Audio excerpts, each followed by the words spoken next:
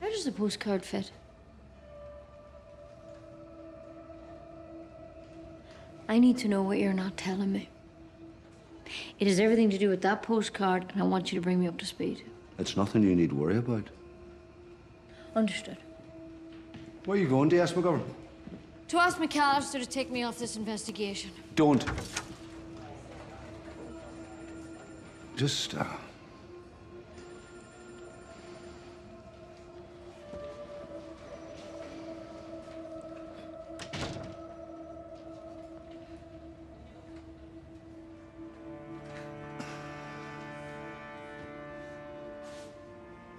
In the early part of 1998, in the months leading up to the peace agreement, a handful of us were made aware of a possible assassin who, it seemed, had access to police intelligence. He was never identified, but the suspicion was that it could only have been an inside man. We called him Goliath, after the crane. So you think he's still out there? You think Keenan's dead?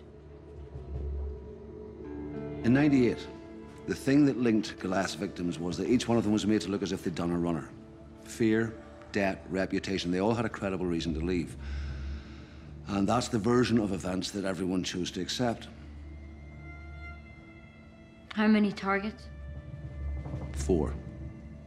So Goliath's a serial killer. Well, that makes it sound indiscriminate. These were targeted assassinations. Peace was on the table. If word got out that a member of the police was picking off targets at will, it'd destroy that, just like now. It would risk a return to all-out war.